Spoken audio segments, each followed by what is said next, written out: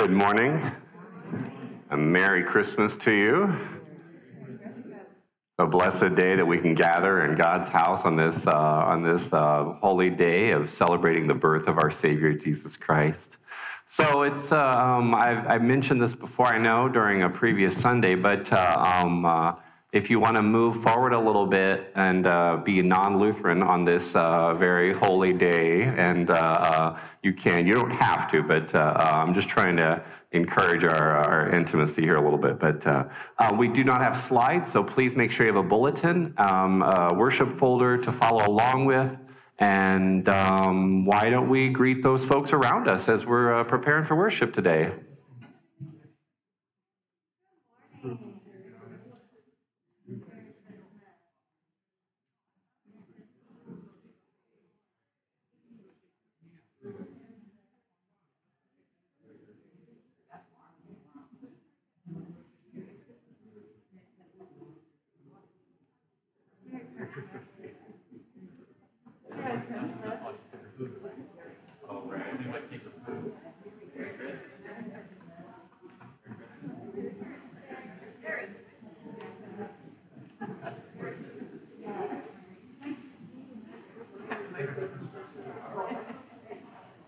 Merry Christmas.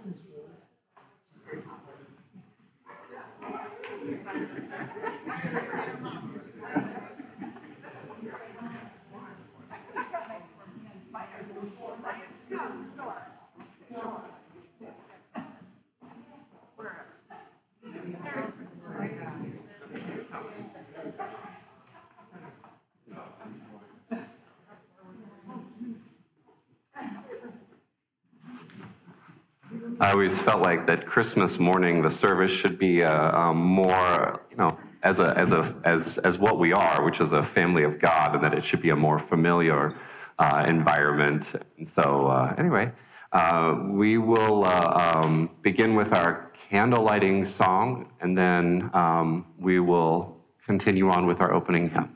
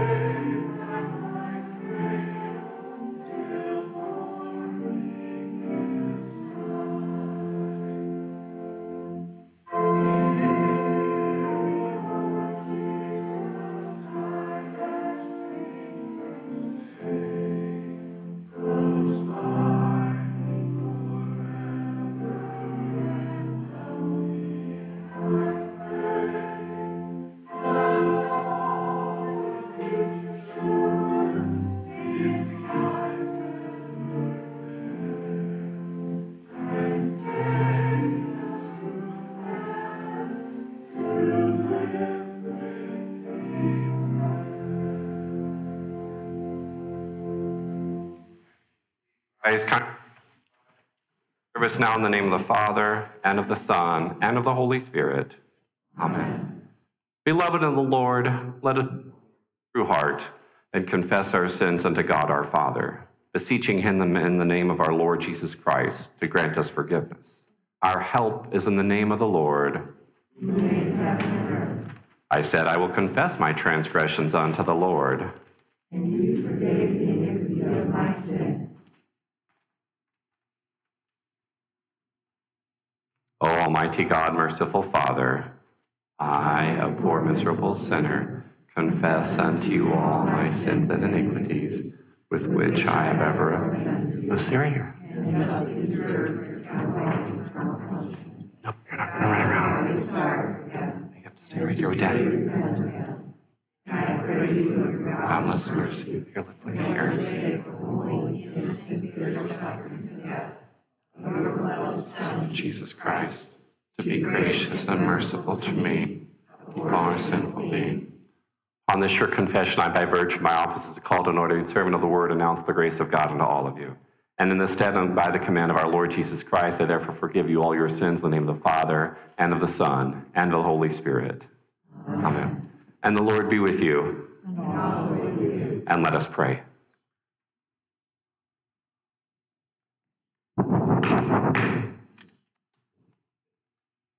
Stand over here with me. Almighty God, grant that the birth of your only begotten Son in the flesh may set us free from the bondage of sin. Through Jesus Christ, your Son, our Lord, who lives and reigns with you in the Holy Spirit, one God now and forever. Amen.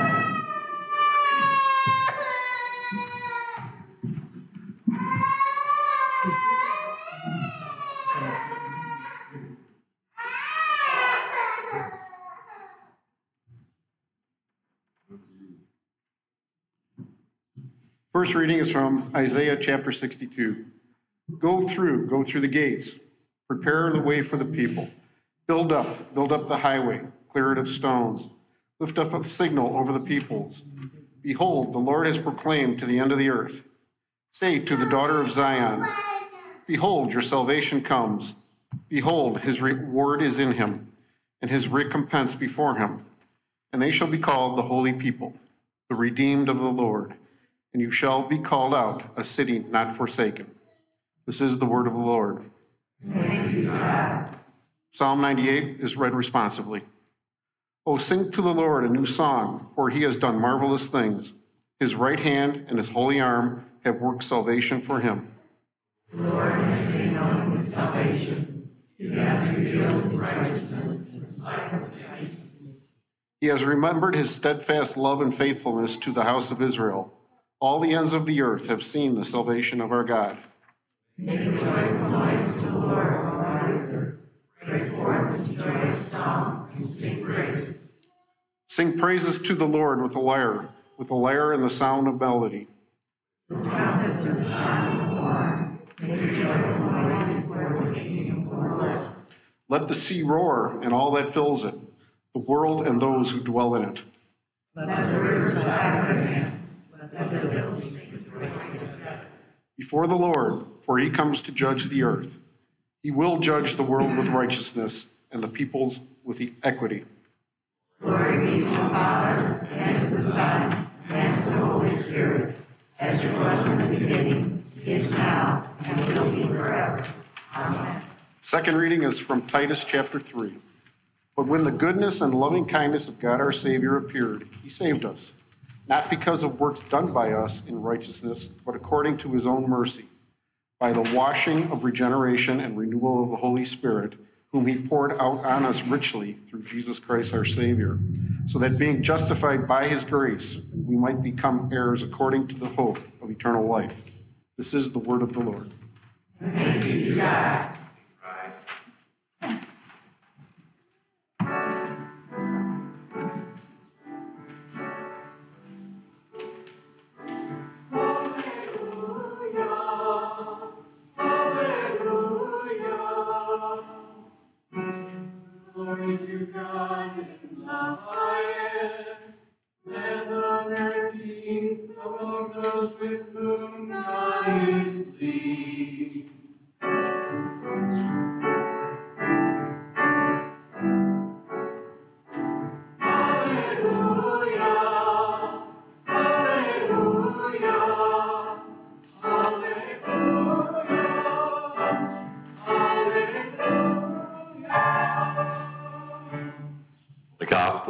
To St. Luke, the second chapter. Glory to you, O Lord. In those days, a decree went out from Caesar Augustus that all the world should be registered. This was the first registration when Quirinius was governor of Syria. And all went to be registered, each to his own town. Joseph also went up from Galilee, from the town of Nazareth to Judea, to the city of David, which is called Bethlehem, because he was of the house and lineage of David, to be registered with Mary, his betrothed, who was with child. While they were there, the time came for her to give birth. And she gave birth to her firstborn son and wrapped him in swaddling cloths and laid him in a manger, because there was no place for them in the inn. And in the same region there were shepherds out in the field, keeping watch over the flock by night.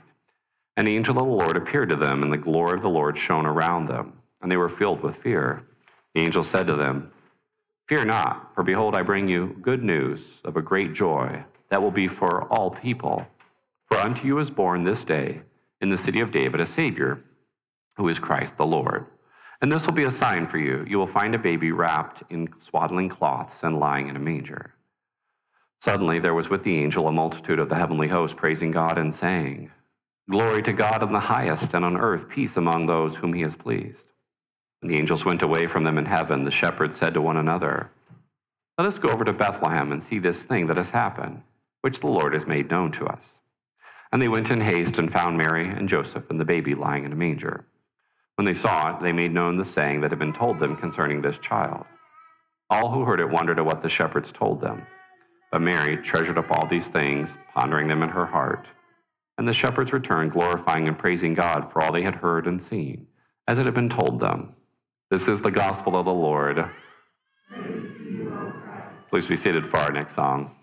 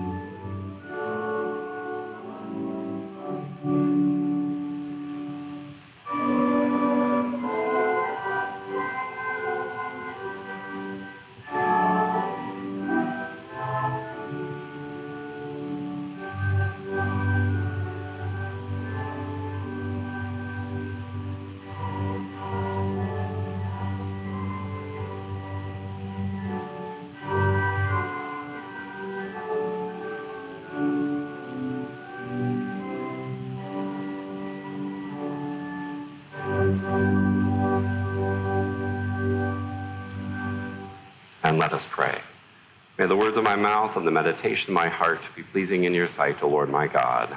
Amen. Grace, mercy, and peace to you from God our Father on this blessed Christmas day.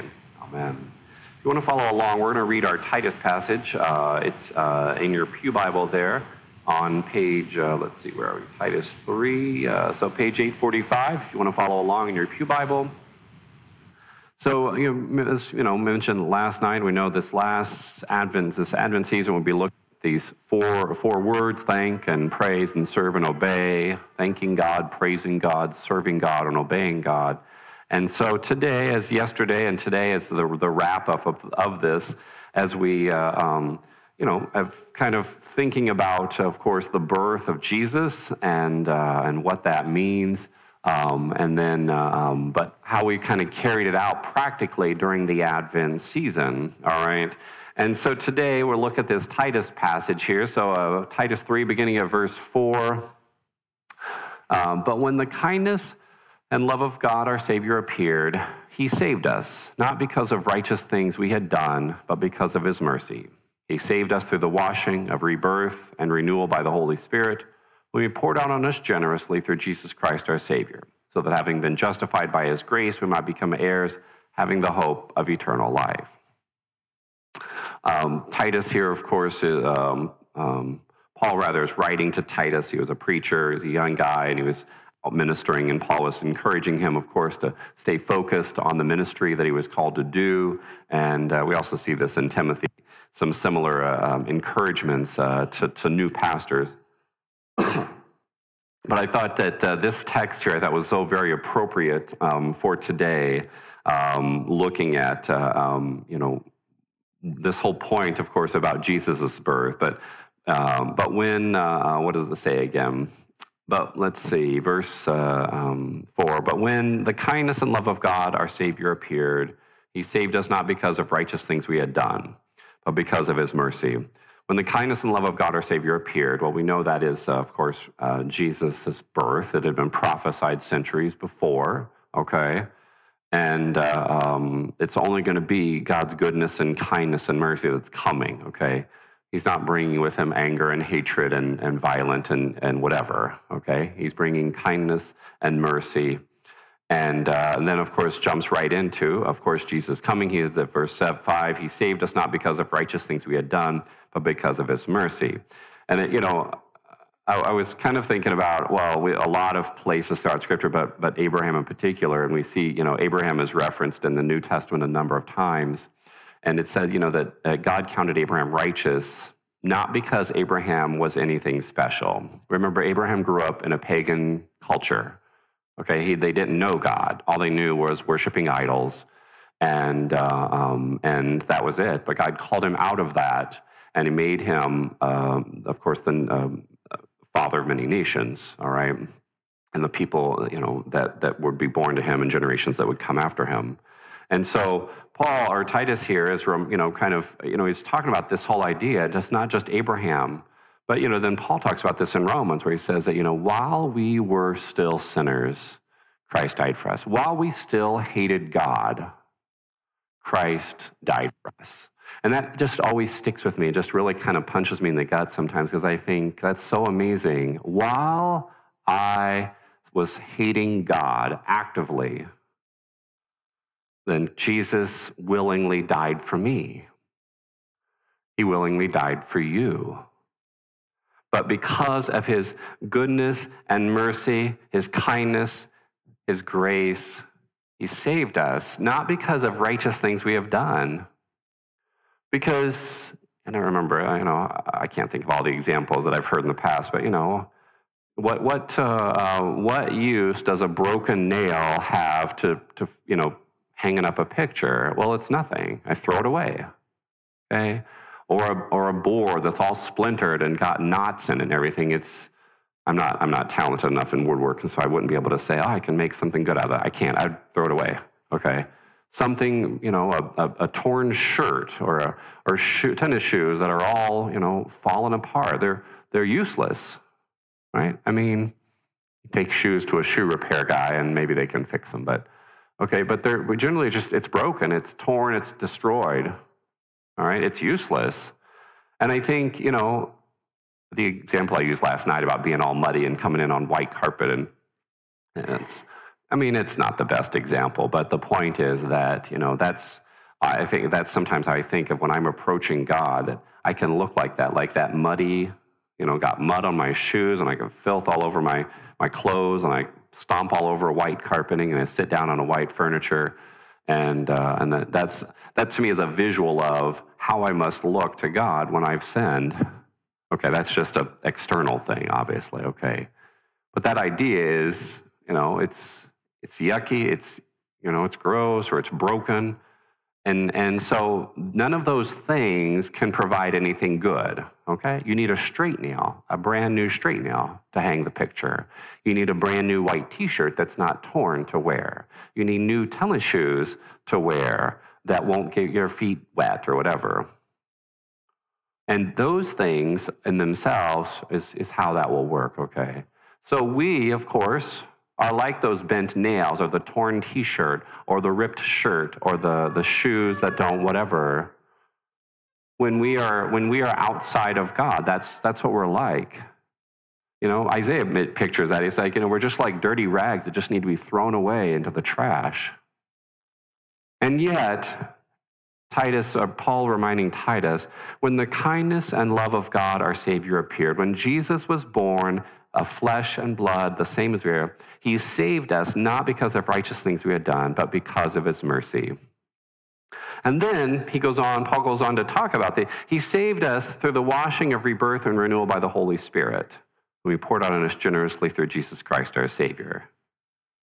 That's a, uh, actually a text that's pulled out into the, in the catechism. It's the, in the baptism section uh, about, uh, you know, Titus here. Uh, um, or Paul rather, here talking about the the ten the the uh, baptism. What, how can water, baptismal water, do such great things? Certainly not just water, but the Word of God in and with the water does these things, along with the faith which trusts this Word of God in the water. Because remember, if I pour water, go back here to the sacristy, I pull water out and I pour it into this baptismal font, all I've done is I've distributed water someplace else, right? This, this, there's not a baptism going on here.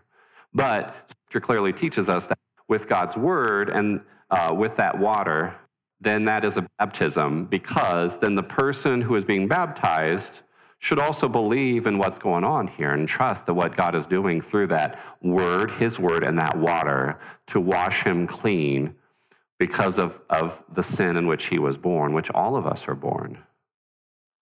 So, you know, if I use that example about me, you know, stomping in with muddy, muddy shoes on the white carpet and my clothes are all filthy, you know, my baptism is I get all cleaned up and I'm all beautiful now on the inside or outside, whatever.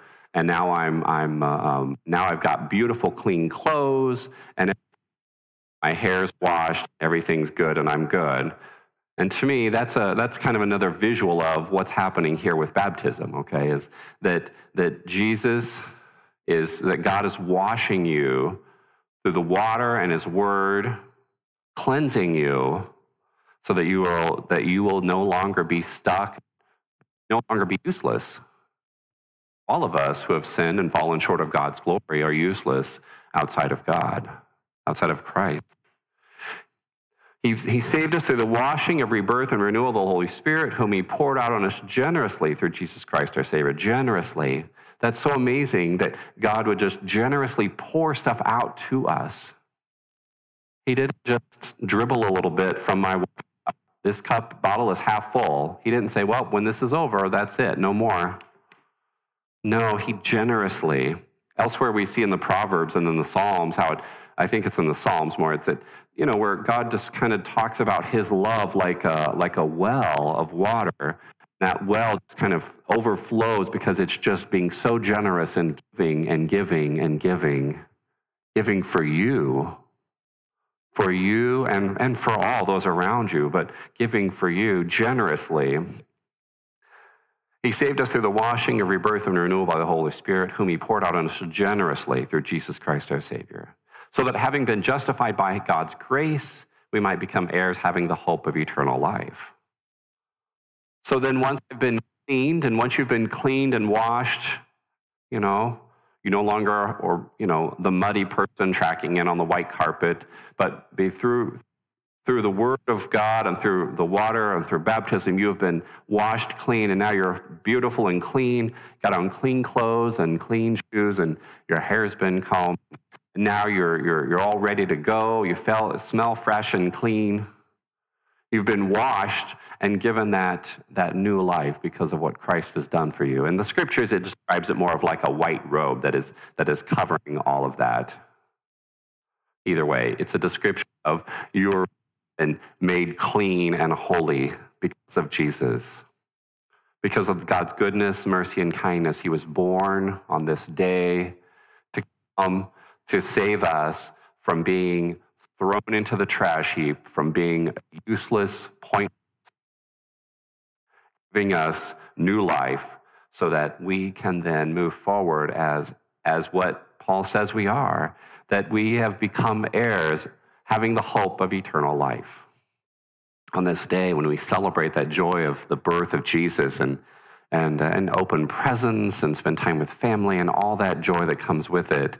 But all of that, you know, will eventually kind of just settle down and all that. And but the star, just like we see on the screens here, that star, that bright joy from Jesus will continue to shine all throughout your life. It is, it is there reminding you of what that, that that's Christ, that He's with us that he has come to be with us so that we don't have to get thrown away to dis- disposed of like a filthy rag that we get that we are made whole and holy. And we have this assurance here as paul reminds titus that we have that assurance that when we die we're going to go and be with jesus when he when we in, in heaven for all eternity. So we can thank god on this christmas day and i pray that that you can know, not just today, but you know, tomorrow and the next day, and whenever everything, the, the you know, the excitement of Christmas has died down and all that, you can continue to be reminded of that Jesus has come for you, giving you eternal life. You are an heir, having the hope of eternal life through the person and work of Jesus Christ, our Savior. Amen. Now may the peace of God, which surpasses all understanding, guard your hearts and your minds, found the one true faith of Jesus Christ our Lord. Amen. Please rise as we confess our faith with the words of the Apostles' Creed. I believe in God the Father Almighty, maker of heaven and earth, and in Jesus Christ, his only Son, our Lord, who was conceived by the Holy Spirit, born of the Virgin Mary, suffered under Pontius Pilate was crucified, died, and was buried. He descended into hell. Stay right here. Descended into heaven and sits at the right hand of God the Father Almighty. From thence he will come to judge the living and the dead. I believe in the Holy Spirit, the holy Christian church, the communion of saints, the forgiveness of sins, the resurrection of the body, and the life everlasting. Amen. Please be seated for our next song.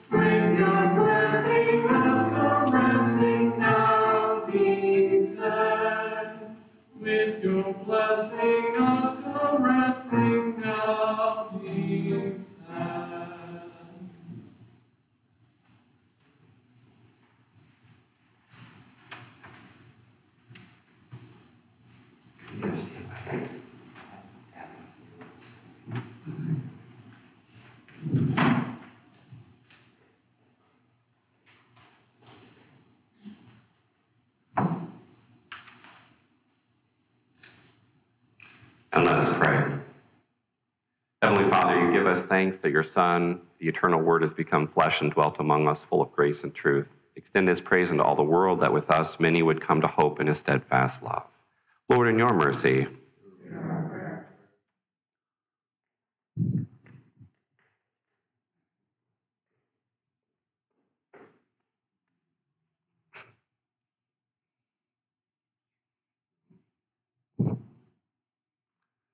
Send forth men to publish your peace and us your good news of happiness. Keep them faithful to declare your gracious reign in Christ. Bless the work of missionaries at home and abroad, that all the ends of the earth may see your salvation.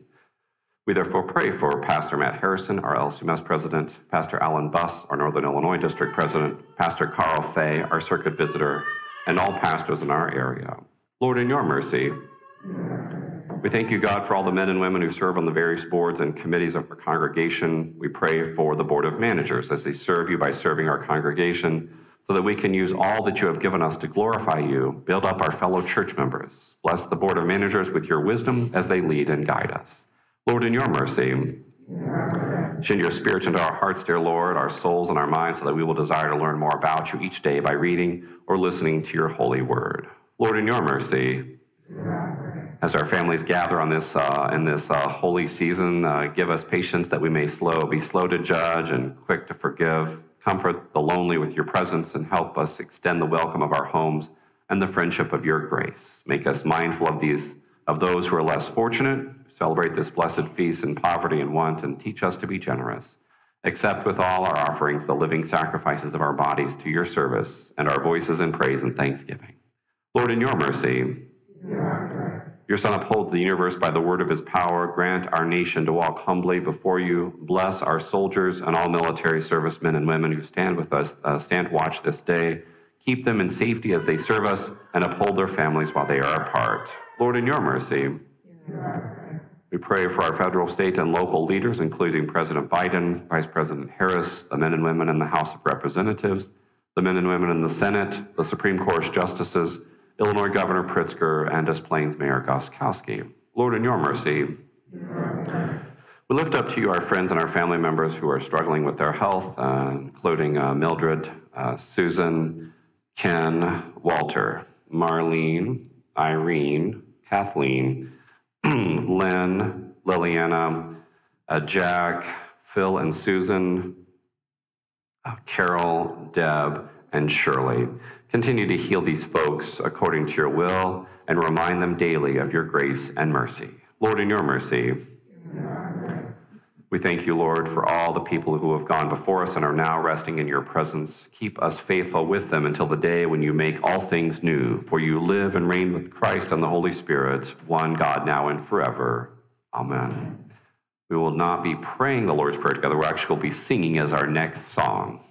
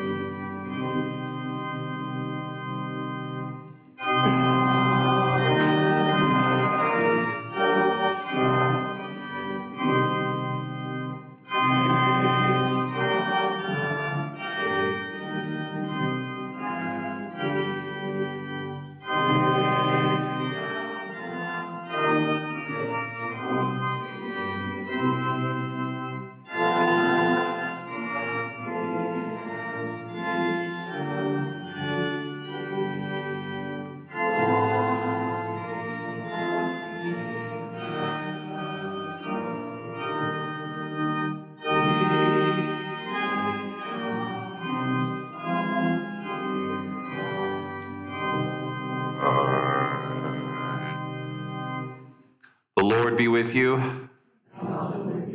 Let us bless the Lord. Receive the benediction of our Lord. The Lord bless you and keep you. The Lord make his face to shine upon you and be gracious to you. The Lord look upon you with his favor and give you his peace. Amen. We'll close with our final song Hark the Herald Angels Sing.